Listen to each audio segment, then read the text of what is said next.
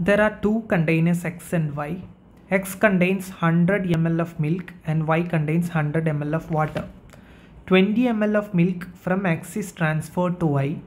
After mixing well, 20 ml of mixture Y is transferred back to X.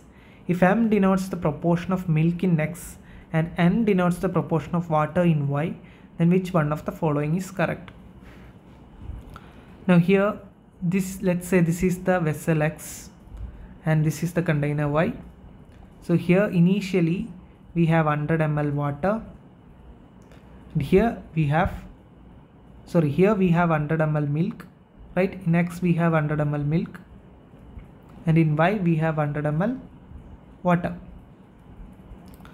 Now then what happened was that we poured 20 ml of milk from X to Y. So what happens? Here now we have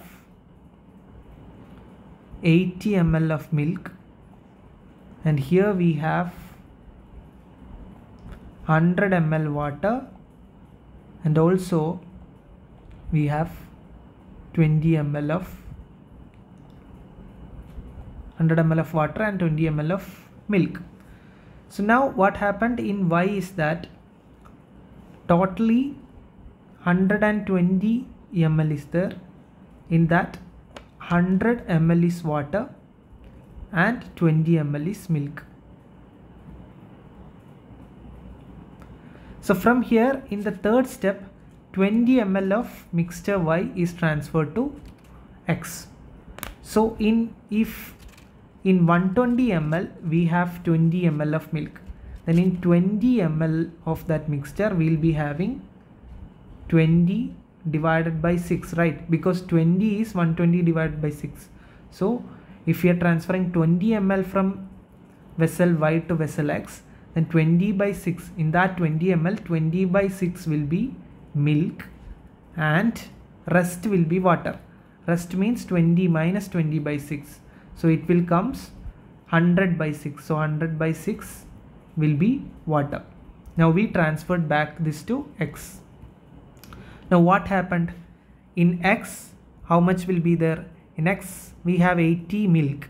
And now we have 20 by 6 m we added. So 20 by 6 so this is equal to 80 into 6 is 480 plus 2 500 by 6 ml of milk will be there. And also in x we have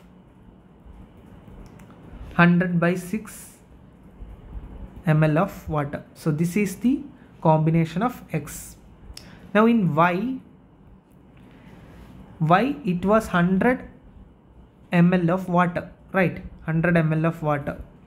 But in from that 100 ml of 100 ml 100 by 6 ml of water is transferred to x. So 100 minus 100 by 6 which is equal to 6 into 100 600 minus 500 by 6 ml of water will be there and also in y 20 ml of milk was there. From that 20 ml 20 by 6 ml of milk is transferred back to x. 20 by 6 which is equal to 100 by 6 milk. So here the amount of the amount of uh, m m denotes the proportion of milk in x. Though so the amount of milk in x is 500 by 6 and amount of water in y is again 500 by 6 ml so the proportion of milk in x is actually equal to the proportion of milk uh, water in y. So option a m equal to n is the right answer